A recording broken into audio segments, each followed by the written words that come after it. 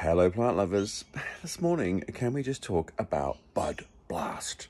Now, here is my Aerides odorata, and I made a video about that. There it is in its basket, saying how wonderful and excited I was at the flower spike. It's taken a month, literally six months. It started to grow in autumn, and it's now summer, but can you see?